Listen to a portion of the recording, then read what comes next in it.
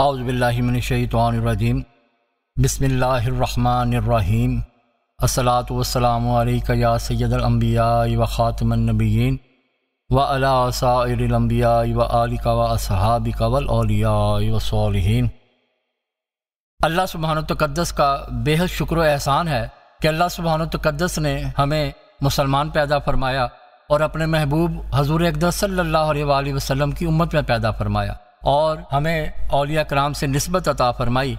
और अल्लाह रब्ज़त का हम पर यह भी एक अजीम एहसान है कि अल्लाह रब्ज़त ने हमें एक आज़ाद मुल्क में पैदा फरमाया। अक्सर लोगों को आज़ादी की इस नेमत की कदर शायद ना हो, क्योंकि उन्होंने कभी ग़ुलामी वाली या जंग वाली ज़िंदगी का तस्वर भी कभी नहीं किया होगा। और जो शख्स अल्लाह रब्ज़त की अता का, नेमत का शुक्र अदा नहीं करता, अल्लाह रब्ज़त कभी भी उस शख्स से खुश नहीं होता। तो ये अल्लाह ताला का हम पर इनाम है अल्लाह ताला का हम पर एहसान है कि हम इस मुल्क पाकिस्तान के अंदर आज मौजूद हैं, एक आज़ाद रियासत में मौजूद हैं और वतन से मोहब्बत रखना जो है, ये एक ईमान का हिस्सा है। क्या हमें पाकिस्तान के लिए, हमारे बुज़ुर्गों ने बहुत सी कुर्बानियाँ दी, अपनी जानों का नजराना पेश किया और बहुत सी मेहनतों और कोशिशों के बाद इस मुल्क पाकिस्तान को हासिल फरमाया। इस मुल्क पाकिस्तान को बनाने में ज़ाहरी तौर पर हज़रत कायद अजम साहब और हज़रत इलामा साहब पेश पेश थे। और इसके साथ एक रूहानी शख्सियत, अमीर मिलत किबला आलम, पीर सैयद जमात अली शाह साहब मुहदस अली पूरी इसमें पेश पेश थे। बल्कि अगर यूँ कहा जाए कि पाकिस्तान आप ही की दुआओं से और आप ही की तवज्जा और खिदमत से बना है तो ये बात बिल्कुल भी गलत ना होगी। अमीर मिलत पीर सैयद जमात अली शाह साहब मुहदस अली पूरी आप सिलसिला आलिया सदीकिया नक्शबंदिया के नहायत अजीमरतबत दरवेश कामल हैं। और आपका मज़ार पाक अलीपुर सईदा ज़िला नारोवाल में है। और आप हज़रत बाबा फ़कीर मोहम्मद चुराही, जिनका मज़ार शरीफ, चूरा शरीफ ज़िला अटक में है, उनके महबूब तरीन मुरीद और खलीफा है। हज़रत किबला आलम हाफज भी थे और आलम दीन भी थे और मुहदस भी थे। आपके मुरीदों की तादाद बगैर मुबालगे के लाखों में थी और हज़ारों गैर मुसलमों ने आपके हाथ पर इस्लाम कबूल किया और आपकी बैत की। आप ना सिर्फ़ दीनी और रूहानी और इल्मी शख्सियत थे, बल्कि इसके साथ साथ आप मुल्क में मुसलमानों के हकूक़ के लिए भी सरगर्म अमल रहते थे और एक सियासी हसीियत भी रखते थे। लिहाजा हज़रत अमीर मिलत मुसलमानों के मामला में हर तरफ़ निगाह रखा करते थे और जो भी सियासी कायदीन मुसलमानों के लिए मुखलस होते, आप उनकी भलाई की फ़िक्र में रहते और उनकी बहुत इज़्ज़त करते और उनकी हौसला अफजाई फरमाते। 1906 में जब मुसलमानों के सियासी रहनुमाओं ने मुसलमानों के तहफ़ के लिए ऑल इंडिया मुस्लिम लीग के नाम से एक सियासी तंजीम का ऐलान किया तो हज़रत अमीर मिलत ने ही उनकी हमायत और हौसला अफजाई फरमाई। और फिर जब 1936 में कायद अजम साहब ने मुस्लिम लीग की तंजीम नौ का बेड़ा उठाया और दो जुदा गाना कौमों की आवाज़ बुलंद की तो सबसे पहले हज़रत अमीर मिलत ने ही उनको अपने मुकम्मल और भरपूर तावन की यकीन दहानी करवाई। इसके बाद हज़रत अमीर मिलत ने मुस्लिम लीग के लिए काम करना शुरू फरमाया। और दूसरे लोगों को भी तलकीन फरमाई कि मुस्लिम लीग की हमायत करें। बल्कि यहाँ तक फरमाया करते थे कि सब मुसलमानों पर मुस्लिम लीग के परचम तले जमा हो जाना वाजिब है, क्योंकि इस वक्त मुस्लिम लीग ही एक ऐसी जमात है जो कि मुसलमानों के लिए मुखलिस है। और आप फरमाते थे कि दो झंडे हैं, एक झंडा इस्लाम का है, दूसरा झंडा कुफर का है। और इस वक्त सियासी मैदान में इस्लामी झंडा मुस्लिम लीग का है, लिहाजा हम भी मुस्लिम लीग के साथ हैं और सब मुसलमानों को भी मुस्लिम लीग में शामिल हो जाना चाहिए। सिर्फ़ यही नहीं, बल्कि हज़रत अमीर मिलत ने अपने साथ वालों को मुस्लिम लीग की भरपूर हमायत करने पर आमादा किया, बल्कि तहरीक क्याम पाकिस्तान की तइद और हिमायत के लिए सारे बर सगीर के दौरे फरमाए और जलसे फरमाए और मुसलमानों को तलकीन की कि क्याम पाकिस्तान के लिए तमाम मुसलमान मुस्लिम लीग की भरपूर हमायत करें। मुस्लिम लीग के तमाम कारकुन और नेशनल गार्ड दौड़ दौड़ कर आपके आगे पीछे फिरा करते थे और आपका हर हुक्म खुशी और अकीदत से माना करते थे। यूँ आपकी कोशिशों से मुस्लिम लीग को बरसगीर में बहुत जल्द ही एक मुकाम हासिल हो गया और तमाम मुसलमान मुस्लिम लीग के झंडे के नीचे इकट्ठे हो गए। तहरीक पाकिस्तान के सफ़र के और तमाम जलसों का खर्चा आप अपनी ज़ाती जेब से फरमाया करते थे। और इसके अलावा तहरीक पाकिस्तान के लिए सबसे ज़्यादा फंड और माली इमदाद भी आप ही ने फरमाई। मेरी एक बुज़ुर्ग से मुलाकात हुई जो कि बहुत उम्र सीधा थे। उन्होंने मुझे बताया कि मैंने काफ़ी वक्त हज़रत अमीर मिलत के साथ गुजारा है तहरीक क्याम पाकिस्तान के हवाले से उन्होंने बताया कि जब हज़रत अमीर मिलत जलसों में मुस्लिम लीग के लिए माली फंड की अपील करते तो लोग बहुत ही मोहब्बत और शौक के साथ कसरत से माली ताउन करते। और बाज़ का तो इतना ज़्यादा फंड इकट्ठा होता कि इसको बैल, गाड़ी पर लाद कर कायद आज़म साहब के पास भिजवाया जाता। एक दफ़ा एक बहुत बड़े जलसे में स्टेज पर मौजूद किसी शख्स ने जलसे से मुखातब होकर तंजिया लहजे में कहा कि देखते हैं कि आज हज़रत अमीर मिलत कितना फंड देते हैं। आपने इसके जवाब में इरशाद फरमाया कि आज जलसे में सब लोग मिलकर जितना फंड देंगे, उसी कदर मैं अकेला अपनी जेब से इतना फंड दूँगा। बिला मुबालगा, ये बात दुरुस्त है कि मुस्लिम लीग में बहुत कसीर तादाद हज़रत अमीर मिलत की तबलीग और कोशिशों की वजह से शामिल हुई। और सबसे ज़्यादा माली फंड आपके फरमाने पर लोगों ने दिया और खुद भी सबसे ज़्यादा माली फंड आपने मुस्लिम लीग को दिया। इसके अलावा आपने सादात कराम मशाइ कराम और उलमा कराम को खतूत अरसाल फरमाए और अक्सर से मुलाकात फरमाई। और उनको मुस्लिम लीग की भरपूर हमायत और मदद करने पर आमादा किया और उनको समझाया कि तहरीक पाकिस्तान में हिस्सा लेना और उसके लिए कोशिशें करना दीन ही का काम है। लिहाजा इसमें हर तरह से भरपूर अमली ताउन करे। आपकी इस कोशिश से सदात कराम मशाइ कराम और उलमा कराम ने आपके फरमान की इतात की और ज़्यादातर ने तो खुद अलीपुर सईदा आपके आस्ताना आलिया पर हाजिर होकर अपनी भरपूर हिमायत और मदद करने की यकीन दहानी करवाई। लिहाजा तहरीक पाकिस्तान में हिस्सा लेने वालों की ज़्यादा तादाद हज़रत अमीर मिलत की तबलीग से ही इकट्ठी हुई।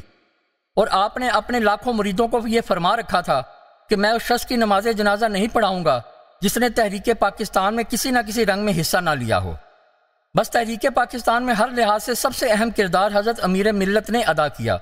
और दीगर मशाइ कराम और उलमा कराम भी तहरीक पाकिस्तान में सर फहरिस्त थे।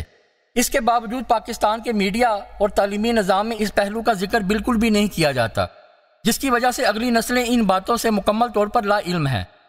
और इस बात का मुँह बोलता सबूत है कि हमारा मीडिया और तलीमी निज़ाम ना ही अपने मज़हब इस्लाम के हक में है और ना ही अपने मुल्क पाकिस्तान के हक में है। अगर हमारा मीडिया और तालीमी निज़ाम इस्लाम और पाकिस्तान के हक में होता तो पाकिस्तान का बच्चा बच्चा जानता कि पाकिस्तान बनाने का मकसद क्या था और पाकिस्तान बनने की रूहानी कैफियत क्या है।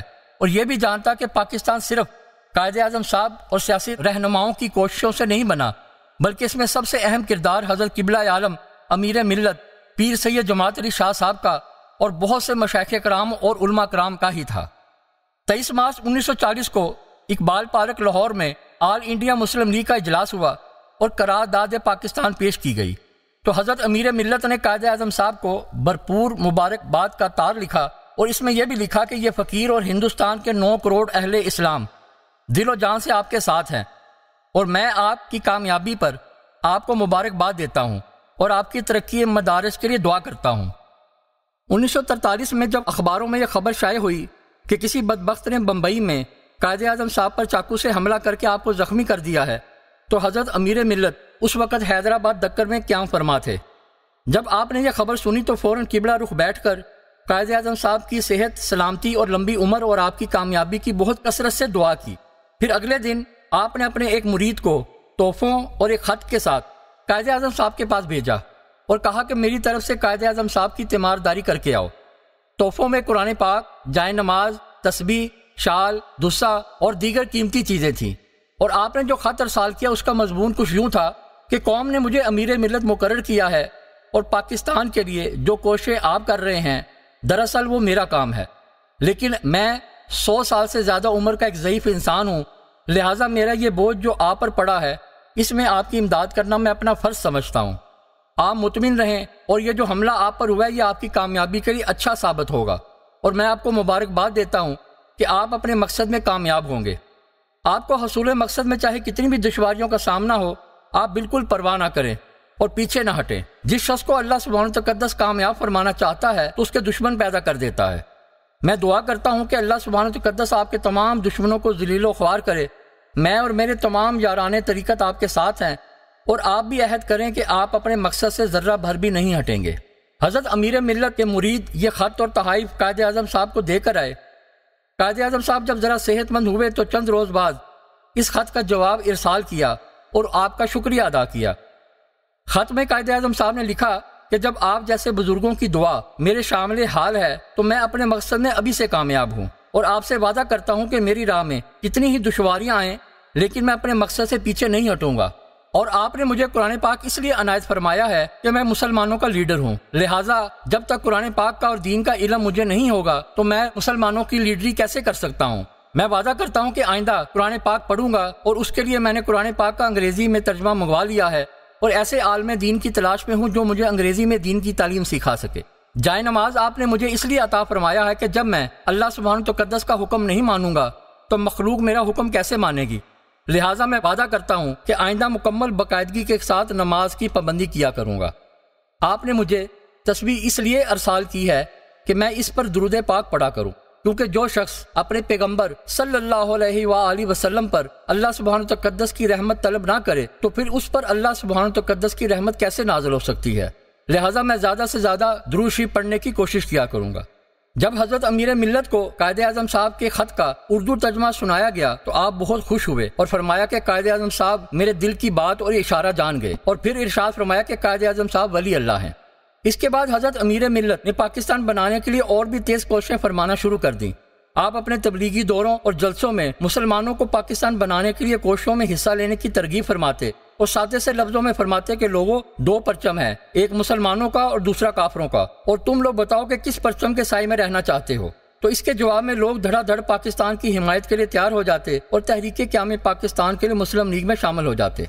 एक दफ़ा एक जलसे में बाद लोगों ने इतराज किया कि कायदे आज़म साहब मुसलमानों का कैसा लीडर है, जो कि गैर मुस्लिमों की अंग्रेज़ी ज़ुबान बोलता है और गैर मुस्लिमों के मुल्क से पढ़कर आया है और अंग्रेज़ों का लिबास पहनता है और उन जैसी शक्ल सूरत रखता है।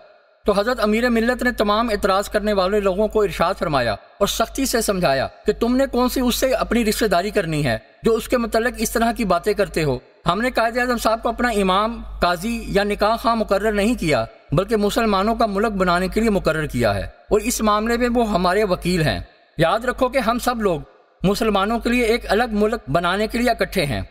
फिर हज़रत अमीर मिलत ने कायद आज़म साहब की हमायत में ऐसा बयान फरमाया कि सब लोग मुतमिन हो गए, बल्कि बाद उलमा कराम ने आपके बाजू पकड़ लिए कि हजूर अब मसला साफ़ वाजह हो गया। हज़रत अमीर मिलत ने उलमा कराम से फरमाया कि कायद आज़म साहब पाकिस्तान बनाने की कोशिश कर रहे हैं और पाकिस्तान के मुखालफिन कान खोल कर बात सुन लें कि पाकिस्तान बनकर रहेगा, क्योंकि बारगाह रब्बुल इज़्ज़त में पाकिस्तान बनने की मंजूरी हो चुकी है। लिहाजा पाकिस्तान तोहफा इलाही है और ये मुल्क हम सब मुसलमानों का है, अकेले मिस्टर जना का नहीं है। और याद रखो कि वो हम सब मुसलमानों के वकील हैं और हम सब मुसलमानों का काम कर रहे हैं। लिहाजा हर मुसलमान के लिए ज़रूरी है कि वो कायद अजम साहब का भरपूर साथ दे। हज़रत अमीर मिल्लत अक्सर ये भी फरमाया करते थे कि अगर मैं चिराग लेकर भी ढूंढूं तो मुझे पूरे हिंदुस्तान में एक शख्स भी जना साहब जैसा मुसलमान नज़र नहीं आता जो इस्लाम की ऐसी खिदमत बजा ला रहा हो। और अल्लाह सुबहान तकदस जना साहब की उम्र दराज करे, जो हिंदुस्तान के मुसलमानों के वाहद लीडर हैं और वाकई कायद आज़म हैं। इसके अलावा आप बरमला सब लोगों के सामने ये बात फरमाया करते थे कि कायद आज़म साहब और इलामा साहब दोनों वली अल्लाह हैं। हज़रत अमीर मिलत जब अपने आखिरी दौरे कश्मीर पर तशरीफ़ ले गए तो आपको इल्म हुआ कि कायद आज़म साहब भी कश्मीर में तशरीफ़ लाए हुए हैं।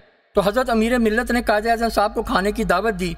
कायद आज़म साहब ने जवाब भिजवाया कि यहाँ कश्मीर में मैं भी मुसाफिर हूँ और आप भी मुसाफिर हैं। लिहाजा यहाँ दावत की क्या ज़रूरत है? लेकिन हज़रत अमीर मिलत ने इसाद फरमाया और फिर एक बहुत ही पुरतकल्लफ और शहाना दावत का अहतमाम किया और इसमें पैंतालीस किस्म के खाने तैयार करवाए गए। इसमें कायद अजम साहब के अलावा बेशुमार कायदीन और हज़रत अमीर मिलत के मुरीदैन को भी बुलाया गया। जब कायद अजम साहब आए तो हज़रत अमीर मिलत ने खड़े होकर उनसे मुआनका किया और अपने बिस्तर पर अपने साथ बैठने की फरमाइश की। कायद अजम साहब ने इनकार किया और हज़रत अमीर मिलत के इसरार पर बड़े अदब से अर्ज़ करने लगे कि, हजूर, बेअदब शख्स कभी भी अपने मकसद में कामयाब नहीं हुआ करते और मेरा मकसद पाकिस्तान बनाना है और मैं इस मकसद से महरूम नहीं होना चाहता। लिहाजा अगर मैं आपके साथ बैठूँगा तो मैं बेअदब हूँ उनके इस जवाब पर हज़रत अमीर मिलत अपने बिस्तर पर बैठ गए और हज़रत कायद आज़म साहब से फरमाया कि, आप जहाँ पसंद फरमाए, वहीं पर बैठ जाएँ। तो कायद अजम साहब आपके पास ही दूसरे लोगों की तरह नीचे कलीन पर बैठ गए। कायद अजम साहब पहले ही हज़रत अमीर मिलत को अपना मुर्शिद समझते थे और मुरीदों की तरह मोहब्बत और अदब करते थे। लेकिन इस मौके पर एक खास वाक्य भी पेश आया कि दावत और मुलाकात के बाद कायद अजम साहब खामोशी के साथ तन्हाई में हज़रत अमीर मिलत के दस्ते अकदस पर बाकायदा तौर पर बैत भी हो गए और आपसे मजीद फीजो बरकत हासिल किए। कायद अजम साहब हज़रत अमीर मिलत से मुलाकात के बाद सोमा सलाद के पाबंद और तहजत गुजार हो गए थे। और कसरत से कुरान पाक और दुर्द पाक पढ़ा करते थे। और इसके अलावा क्याम पाकिस्तान के बाद आपने मुस्तकिल तौर पर शलवार कमीज और अचकन को बाकायदा लबास अपना लिया था। इसके अलावा हज़रत इलामा साहब भी हज़रत अमीर मिल्लत से एक मुरीद की तरह मोहब्बत और अदब रखते थे, लेकिन बाकायदा तौर पर बैत ना हुए। उसकी वजह यह थी कि इलामा साहब बचपन ही से सिलसिला कादरिया में बैत थे, क्योंकि आपके वालद मोहतरम भी सिलसिला कादरिया में बैत थे। इसी वजह से हज़रत अमीर मिलत ने उनको बाकायदा तौर पर बैत ना फरमाया। लेकिन इलामा साहब आपसे बेहद अकीदत और मोहब्बत किया करते थे, और इसी वजह से हज़रत अमीर मिलत की भी उन पर ऐसी नज़र इनायत थी कि इलामा साहब मुकाम वलायत पर फाइज थे। और हज़रत अमीर मिलत ने कायद अजम साहब और इलामा साहब के मुकाम वलायत की कई बार बशारत भी फरमाई। हज़रत अमीर मिलत एक बार पहले भी लोगों को तहरीक क्याम पाकिस्तान और मुस्लिम लीग में शमूलियत की दावत देने के लिए तमाम हिंदुस्तान का दौरा फरमा चुके थे। लेकिन फिर जब उन्नीस सौ छियालीस में इंतबात का वक्त आया तो फिर दोबारा दूसरी बार हज़रत अमीर मिलत ने तमाम हिंदुस्तान के दौरे फरमाए और तमाम मुसलमानों को फिर दोबारा बनफस नफीस इस बात की यकीन दहानी करवाई और पूरा ज़ोर दिया कि हर मुसलमान मुस्लिम लीग को लाजमी वोट दे। और आपकी इतबा में आपके खुलफा और ख़ास मुरीदैन ने भी मुल्क में जगह जगह दौरे किए और सब मुसलमानों को हज़रत अमीर मिलत का पैगाम पहुँचाया कि हर मुसलमान मुस्लिम लीग को लाजमी वोट दे। इसके अलावा हज़रत अमीर मिलत ने बहुत कसीर तादाद में मशाइ कराम और उलमा कराम को भी तहरीक पाकिस्तान में भरपूर हिस्सा लेने के लिए तैयार किया था और उनके हल्के वालों ने भी तहरीक पाकिस्तान में हिस्सा लिया। आपने इश्तहारात भी छुपाए और अखबार में अपना पैगाम दिया और तमाम सफ़रों, जलसे, जुलूसों और जो भी जुलूसों में शामिल होते या जुलूसों का अहतमाम करते, उन सब का खर्चा आप अपनी जेब से खुद फरमाया करते थे। यूँ हिंदुस्तान के हर मुसलमान तक हज़रत मीर मिलत का यह पैगाम पहुँच गया और आपकी इन काबशों से 1946 के इंतबात में मुसलमानों को कामयाबी हासिल हुई। हज़रत अमीर मिलत ने इंतबात में कामयाबी पर कायद अजम साहब को मुबारकबाद का एक खत भेजा, जिसके जवाब में कायद अजम साहब ने भी एक खत भेजा और अर्ज़ किया कि, हजूर, ये सब आपकी ही हिम्मत और दुआओं का सिला है और अब यकीनन पाकिस्तान बन जाएगा। और कायद अजम साहब हज़रत अमीर मिलत के मुरीदों से बरमला अक्सर ये बात फरमाया करते थे कि पाकिस्तान बनना हज़रत किबला आलम अमीर मिलत पीर सैयद जमात अली शाह साहब की कोशिशों और दुआओं का ही नतीजा है। काज आज़म साहब को पाकिस्तान बनने का जो यकीन था, वो सिर्फ़ और सिर्फ़ हज़रत अमीर मिलत की ज़ात अकदस की वजह से था और इस यकीन की वजह से आप साल साल पाकिस्तान बनाने की कोशिशों में लगे रहे।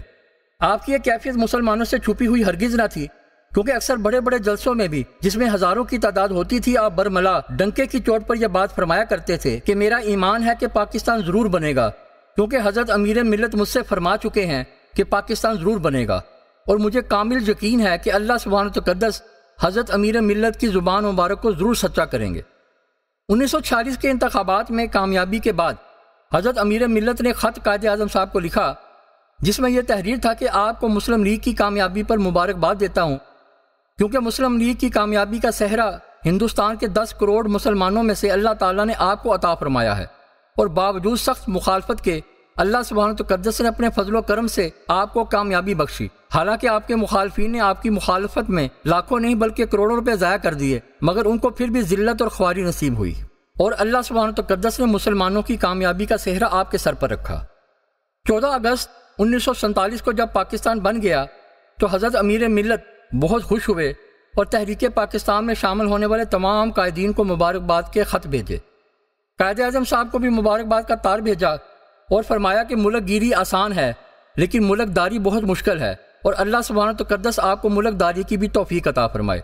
अब हमारा काम ख़त्म हुआ, और अब मुल्क चलाने वाले जाने और उनका काम जाने। लिहाजा अगर ये बात कही जाए कि पाकिस्तान दर हकीकत हज़रत अमीर मिलत की जानी, माली, रूहानी काविशों और दुआओं से बना तो ये बात सौ फ़ीसद दुरुस्त होगी। कायद अजम साहब, इलामा साहब और दीगर कायदीन के ईमान की कैफियत और मजबूती का अंदाज़ा कीजिए कि उनको अल्लाह सुबहान तकदस के वली कामल हज़रत अमीर मिलत से किस कदर वालहाना लगाव था और उन पर किस कदर यकीन था? लिहाजा पाकिस्तान हज़रत अमीर मिलत और हज़रत ओलिया कराम की एक निशानी है और हजूर अकदस सल्लल्लाहु वसल्लम का फैज़ है। और इस पाकिस्तान का मकसद यही था कि एक मुल्क हासिल किया जाए, जहाँ पर सिर्फ़ और सिर्फ़ अल्लाह सुबहान तकदस की वहदानियत और हजूर अकदस सल्लल्लाहु वसल्लम के इश्क अदब और इतबा पर कोई रुकावट ना हो। और यहाँ पर हज़रत ओलिया कराम की इज़्ज़त और हरमत लोगों के दिलों में कायम रहे। ये मुल्क पाकिस्तान हज़रत ओलिया कराम ने बनाया और इन ताला जब तक हज़रत अलिया कराम से मोहब्बत करने वाले मौजूद हैं, मुल्क पाकिस्तान कायम और दायम रहेगा। पाकिस्तान बनने में जहाँ हिंदुओं ने बहुत मुखालफत की, वहाँ यहूद नसारा ने भी बहुत मुखालफत की और उन्होंने भरपूर कोशिश की कि पाकिस्तान ना बने। इसकी सबसे अहम वजह यह थी कि ये मुल्क इस्लाम के नाम पर बन रहा था। जब इनको यकीन हो गया कि पाकिस्तान बन जाएगा तो उन्होंने इसे तबाह बर्बाद करने के लिए उसी वक्त से कोशिश शुरू कर दी और ये प्रापोगंडा फैलाना शुरू कर दिया कि पाकिस्तान इस्लाम के नाम पर नहीं, बल्कि आज़ादी के लिए हासिल किया जा रहा है कि यहाँ हर शख्स जिस तरह चाहे ज़िंदगी गुजारे। लोगों के इस प्रापोगंडा के जवाब में कायद अजम साहब ने फरमाया कि मैं ये बात समझने से कासर हूँ कि लोगों का एक तबका जो दानिस्ता तौर पर, यानी जानबूझकर ये शरारत करना चाहता है, और ये बात फैला रहा है कि पाकिस्तान के दस्तूर की असास शरीयत मोहम्मदी पर नहीं की जाएगी। लेकिन याद रखें कि आज भी इस्लामी असूलों का ज़िंदगी पर इसी तरह इतलाक होता है जिस तरह तेरह सौ बरस पहले होता था। लेकिन यूहदो नसारा की साजिशों के तहत एक तबका इस बात के प्रोपोगंडा में लग गया कि पाकिस्तान का मकसद दीन इस्लाम नहीं, बल्कि हर तरह की आज़ादी है। और कायद अजम साहब के मतलब इनके मरने के बाद लोगों को यह बताना शुरू कर दिया कि कायद अजम साहब भी एक आज़ाद ख्याल किस्म के इंसान थे और उन्होंने पाकिस्तान इसलिए बनाया कि यहाँ आज़ाद ख्याली के साथ रहा जाए। हालाँकि तहरीक क्या में पाकिस्तान का नारा ही पाकिस्तान बनने के मकसद को वाजह करता था और वो नारा ये था कि पाकिस्तान का मतलब क्या? ला इलाहा इल्लल्लाह। इस मकसद के लिए उन्होंने कायद अजम साहब की और इलामा साहब की शख्सियत का दीनी मोहब्बत और हजूर अकदस सल्लल्लाहु वसल्लम और हज़रत औलिया कराम से मोहब्बत का पहलू लोगों की नज़रों से ओझल करने की भरपूर कोशिश की। और कभी भी किताबों और स्कूल के निसाब में इस बात का ज़िक्र नहीं किया गया कि कायद अजम साहब और इलामा साहब कितने दीनदार शख्स थे और हजूर अकदस सल्लल्लाहु वसल्लम से और हज़रत औलिया कराम से किस कदर मोहब्बत रखते थे। अगर आप आज भी इन लोगों को देखें जो कि यहूदों ने सारा की मोहब्बत और तकलीफ़ में अंधे हो चुके हैं तो वो कायद अजम साहब को एक आज़ाद ख्याल इंसान साबित करने की कोशिश करते रहते हैं। बहरहाल यहूदों ने सारा की पूरी कोशिश थी और अब भी यही है कि पाकिस्तान का वजूद किसी तरह ख़त्म हो जाए।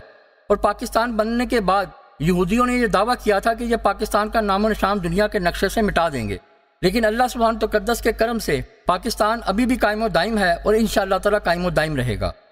हर पाकिस्तानी को चाहिए कि कायद अजम साहब और इलामा साहब की मुकम्मल ज़िंदगी के बारे में पढ़े और अपनी नस्लों को भी आगाह करे। अमीर मिलत पीर सैद जमात अली शाह साहब अक्सर ये बात फरमाया करते थे कि कायद अजम साहब और इलामा साहब वली अल्लाह हैं और हज़रत अमीर मिलत फरमाया करते थे कि कोई कायद अजम साहब और इलामा साहब के मतलब कुछ भी कहे, लेकिन मैं कहता हूँ और मेरा ये अकीदा है कि वो दोनों वली अल्लाह हैं। हज़रत अमीर मिलत के खलीफा और हमारे दादा मुर्शद गौसल गयास, हजूर मियाँ साहब, चादर वाली सरकार जिनका मज़ार अकदस मुल्तान शरीफ में है, आप फरमाया करते थे कि देखो जी, हज़रत मुजद अलसानी की नज़र, जहांगीर बादशाह पर पड़ी तो उसे वली अल्लाह बना दिया, और मेरे किबला अमीर मिलत की नज़र काद आज़म साहब और इलामा साहब पर पड़ी तो उन्हें वली अल्लाह बना दिया। आप फरमाया करते थे कि मैंने इलामा साहब को और काद आज़म साहब को बारगाह रसालत में देखा है, और सुन लो जी कि दोनों वली अल्लाह हैं। एक दफ़ा हजूर मियाँ साहब वाली सरकार ने इशार फरमाया कि देखो जी, मैंने देखा कि बारगाह रसालत लगा हुआ है और हजूर अकदस वसल्लम तख्त अनवर पर जलवा फरमा है। और हज़रत सहाबा कराम और हज़रत अलिया कराम हाजिर खिदमत हैं। एक जानब, हज़रत इमाम अहमद रजा खां बरेलवी और इलामा साहब हाजिर खिदमत थे। सहाबा कराम ने इलामा साहब से फरमाया कि हमें वो शेर आज फिर सुनाओ। तो इलामा साहब खड़े हुए और बड़ी मोहब्बत से ये शेर पढ़ा कि, मोहम्मद से वफा तू ने तो हम तेरे हैं, ये जहाँ चीज़ क्या है, लोहो कलम तेरे हैं। जब इलामा साहब ने यह शेर पढ़ा तो दरबार रसालत में एक वजदानी समा हो गया और सुबहान अल्लाह और दुरुद पाक के विरद की आवाज़ें गूंजने लगी।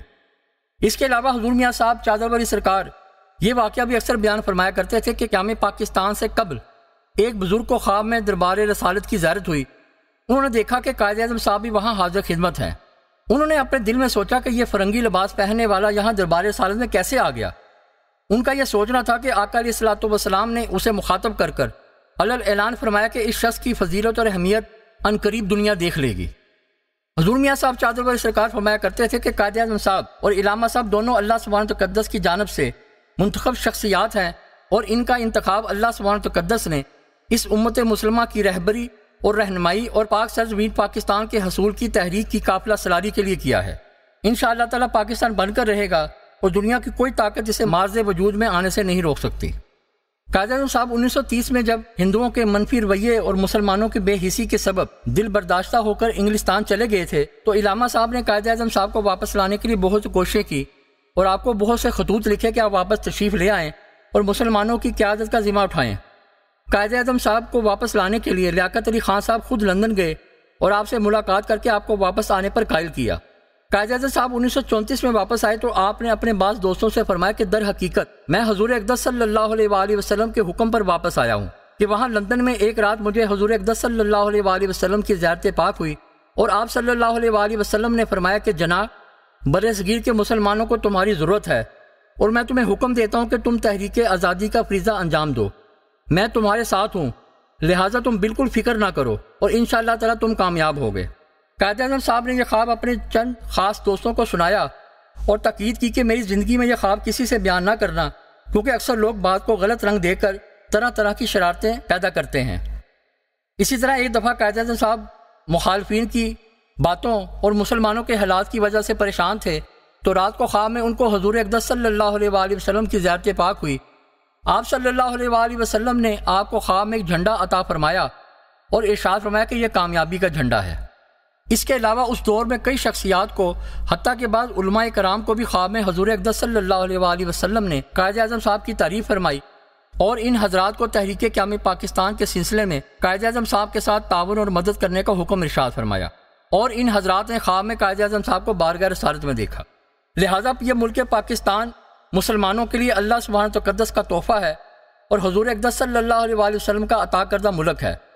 और यह पाकिस्तान हजूर अकदस वसल्लम का और आपके महबूबों यानी हज़रत अलिया कराम का फैज़ान है। अल्लाह सुबहान तकदस हर पाकिस्तानी को हजूर अकदस सल्लल्लाहु अलैहि और हज़रत अलिया कराम से मोहब्बत अता फरमाए और अपने दीन इस्लाम और मुल्क पाकिस्तान की मोहब्बत में ज़िंदगी और मौत अता फरमाए। और हमारे इस मुल्क पाकिस्तान को सही महीनों में दीन इस्लाम का मरकज़ और किला बनाए।